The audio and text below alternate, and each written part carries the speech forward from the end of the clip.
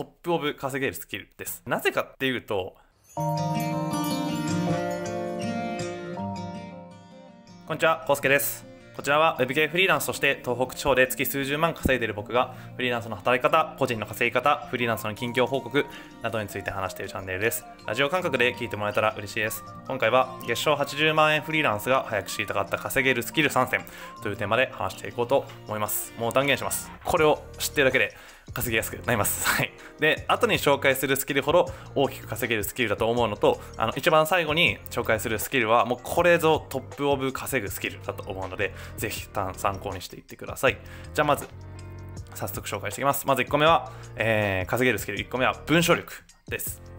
文章、まあ、ライティングスキルとも言うんですけど、まあ、この文章力っていうのは、その、ウェブ系の、こう、ウェブライティングとか、その、SEO ライティングのスキルというよりは、その、シンプルに文章を書く力、言葉、文字を連ねる力みたいな感じですね。まあ、というのも、文章を使わない仕事ってないんですよ。どうですか？今多分これを見ているあなたも何かしらお仕事していると思うんですけど、一切文章を使わないってことありますか？もう全部アイコンタクトだけで コミュニケーション取るとかないですよね。ないはずなんですよ。どんな仕事でも必ず文章っていうのは使うんですよね。で、つまり文章を書ける力、文章力イコールコミュニケーション能力とほぼ同じなんですよ。で、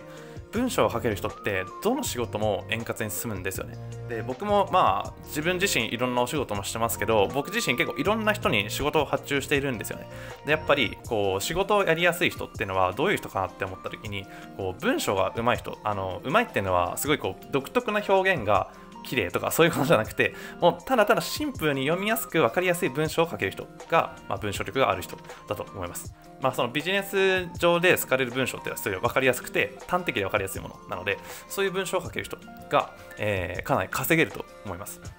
まあ、というのも仕事をすあのそういう文章力がある人は仕事を進める上でのやり取りとか、まあ、交渉とかあとほうれん草報告連絡相談とかもう全部めっちゃスムーズなんですよ。で僕もなるべくここはスムーズにできるように自分の文章とかは常に意識しています。何か文章を送るときに一回読み返してこれ本当に伝わりやすいかなとかちゃんと、えーパッと見て分かる内容になってるかなっていうのをちゃんと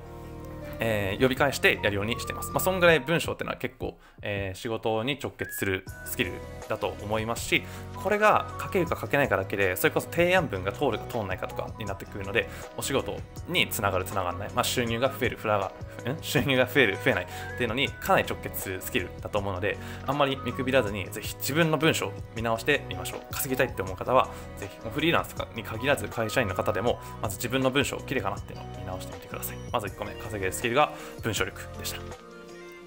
で、2つ目が行動力ですね。まあ、これもスキルというか、ちょっと微妙なんですけど、まあ、でも、まあ、稼ぐ上でめちゃくちゃ大事だなと思ったので、今回入れました。で、とにもかくにも行動が第一なんですよ。どんだけ知識があったって、いや、多分これを、あのこういう動画を見てる方ってすごい勉強熱心な方だと思うし、結構いろんな知識ってあると思うんですよ。ただ、その知識を知識のままで終わらせてる人が多くて、それをいかに行動に起こして、こう、現実に現実化できるかっていうのが大事なんですよね。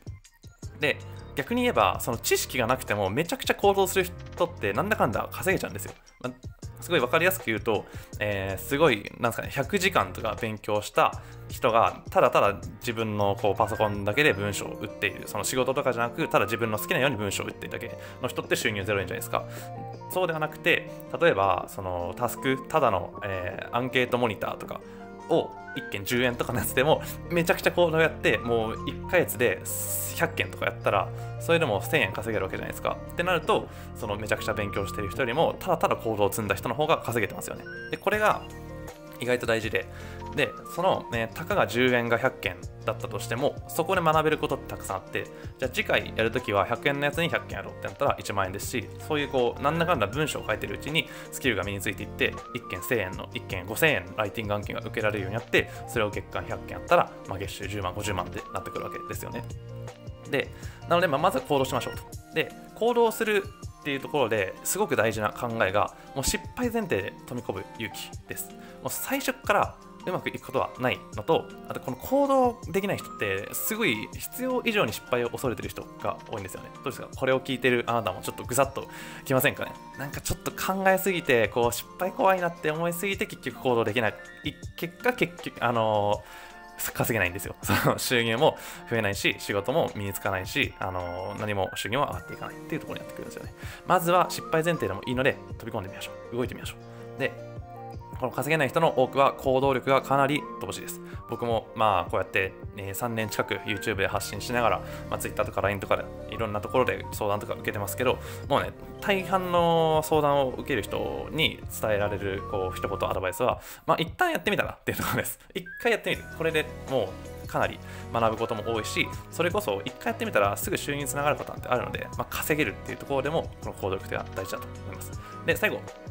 簡単にアドバイスでもないんですけど、えー、行動力を上げる、えー、一つ考え方で、完璧を求めなくていいっていうところなんですよね。で、完璧を求めている人結構多いと思いますし、あと日本の義務教育がどうしてもそう、え、100点満点目指しなさい、目指しなさいっていう教育だったので、あんまりこう失敗とか良くないんじゃないかなって思ってしまうのはわかるんですけど、もう大丈夫です。仕事において正解っていうのはないので、もう失敗前提で完璧を求めないで、えー、失敗してなんぼだっていう思いでやってください。完璧を求めていると行動力が低くなりがちです。なぜなら失敗を恐れて、えー、行動できなくなるからですね。もういいんです。まずはやるの精神があなたのスキルも上げてくれるし、あなたの収入も上げてくれるはずです。これが2個目の行動力でした。で、3つ目。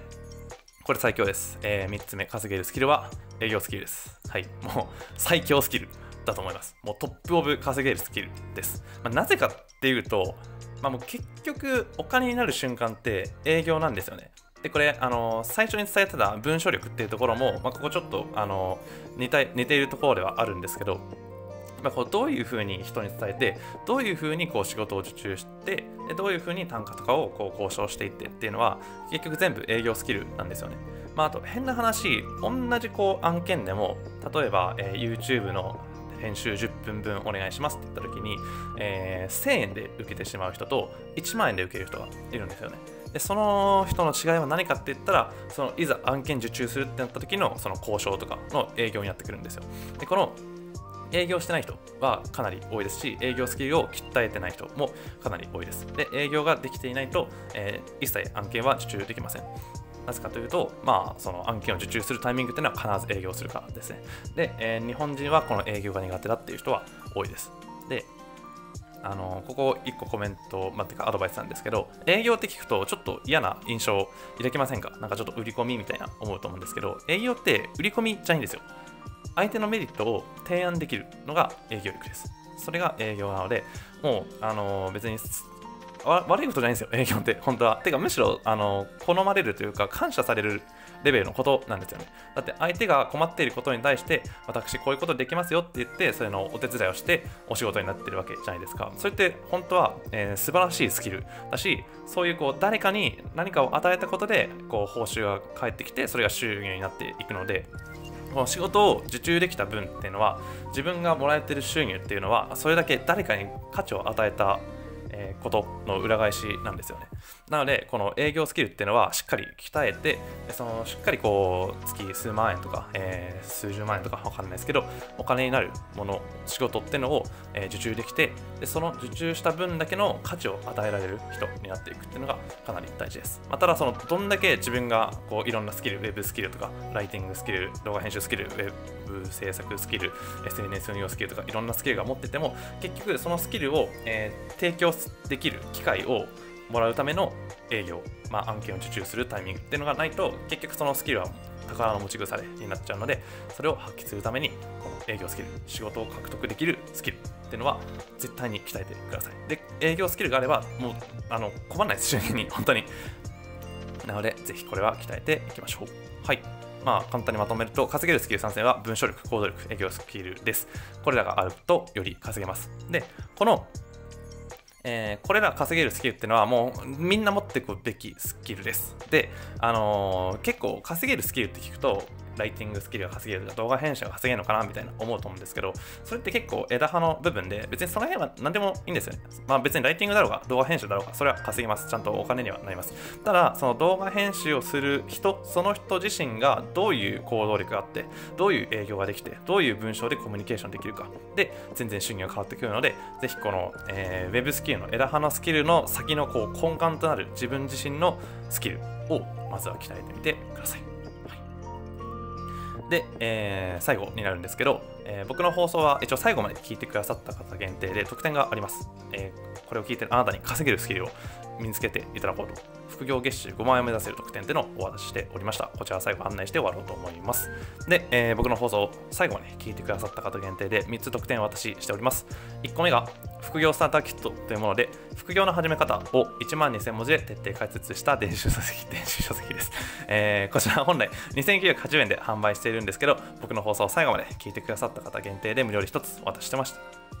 無料で1つお渡ししておりました。えー公式 LINE でお渡ししてます。興味がある方は概要欄に公式 LINE のリンクあるので、ぜひ見てみてください。で、2つ目が